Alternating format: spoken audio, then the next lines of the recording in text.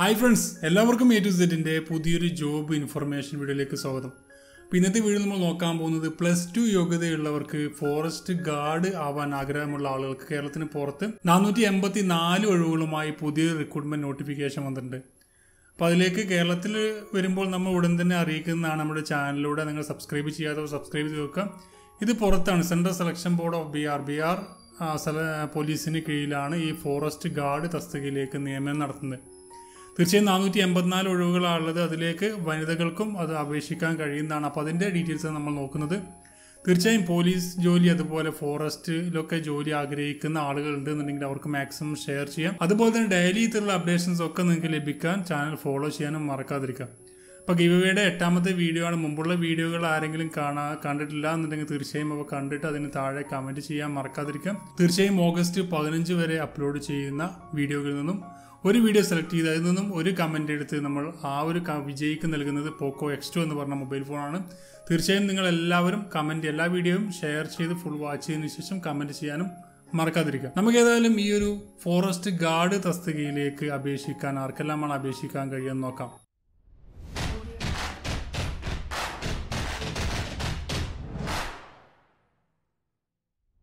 ഇപ്പോൾ central selection board of constable C S B C ആണ് പുതിയ റിക്രൂട്ട്മെന്റ് നോട്ടിഫിക്കേഷനുമായി നാനൂറ്റി എൺപത്തി നാല് ഫോറസ്റ്റ് ഗാർഡ് തസ്തികയിലേക്ക് അപേക്ഷ ക്ഷണിച്ചത്.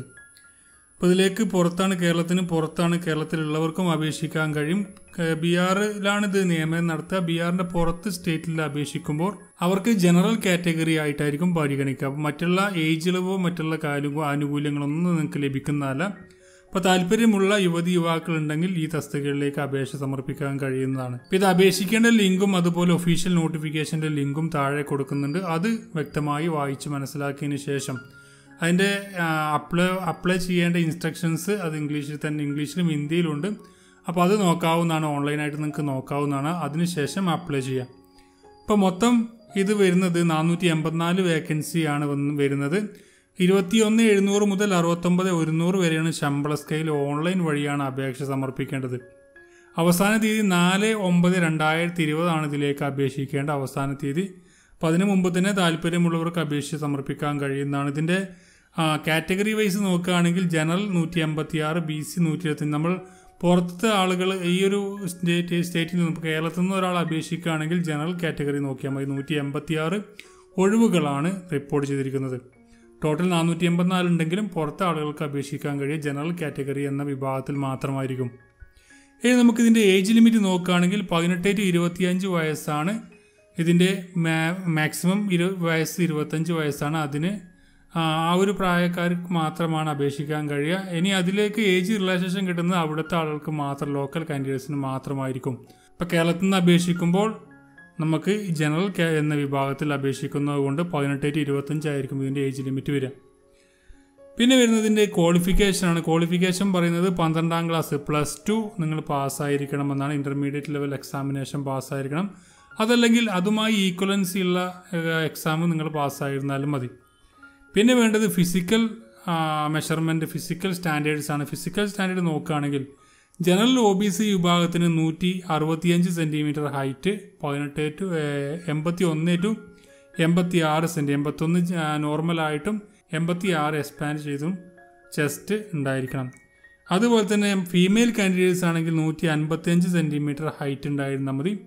അതിലേക്ക് ടെസ്റ്റ് എൻഡോറൻസ് ടെസ്റ്റ് ഉണ്ടായിരിക്കുന്നത് ഇരുപത്തഞ്ച് കിലോമീറ്റർ നാല് മണിക്കൂർ കൊണ്ട് നിങ്ങൾക്ക് നടക്കാൻ കഴിയണം. അത് മെയിൽ കാൻഡിഡേറ്റ്സിന് ഇനി ഫീമെയിൽ കാൻഡിഡേറ്റ്സ് ആണെങ്കിൽ പതിനാല് കിലോമീറ്റർ ഇൻ ഫോർ ആണ് പറഞ്ഞിരിക്കുന്നത്.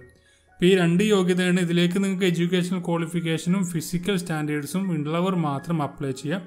ആപ്ലിക്കേഷൻ ഫീസ് ഉണ്ട്. ആപ്ലിക്കേഷന്റെ ഫീസിൽ വരികയാണെങ്കിൽ general B C E W S E B S വരുന്നത് നാനൂറ്റി അൻപത് രൂപയായിരിക്കും ആപ്ലിക്കേഷൻ ഫീസ് വരുന്നത്. ഇപ്പോൾ നാനൂറ്റി അൻപത് രൂപ ജനറൽ വിഭാഗമാവുന്നതുകൊണ്ട് നാനൂറ്റി അൻപത് രൂപ അടയ്ക്കേണ്ടി വരും. അപ്പോൾ താല്പര്യമുള്ള ആളുകൾ മാത്രം അപേക്ഷിച്ചാൽ മതി. ജസ്റ്റ് നിങ്ങളെ ഇൻഫോം ചെയ്തു എന്ന് മാത്രമേ ഉള്ളൂ അതുപോലെ തന്നെ ഇത് അപ്ലൈ ചെയ്യേണ്ടത് നമ്മൾ ഓൺലൈൻ വഴിയാണ്. ബീഹാർ ഫോറസ്റ്റ് ഗാർഡിന്റെ റിക്രൂട്ട്മെന്റിന്റെ നോട്ടിഫിക്കേഷൻ താഴെ കൊടുക്കുന്നുണ്ട്. അപ്ലൈ ചെയ്യാനുള്ള ലിങ്കും കൊടുക്കുന്നുണ്ട്. അതുവഴിയാണ് നിങ്ങൾ അപ്ലൈ ചെയ്യേണ്ടത്.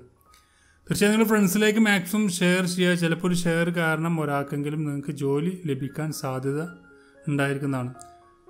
അപ്പോൾ ഡെയിലി അപ്ഡേഷൻസും അതുപോലെ തന്നെ നോട്ടിഫിക്കേഷൻസും ഗവൺമെന്റ് അപ്ഡേറ്റ്സും ഒക്കെ നിങ്ങൾക്ക് ലഭിക്കാൻ ചാനൽ സബ്സ്ക്രൈബ് ചെയ്യാത്തവർ ഇപ്പോൾ തന്നെ സബ്സ്ക്രൈബ് ചെയ്യുക. മറ്റൊരു വീഡിയോ കൊണ്ട് കാണാം. Thank for watching have next day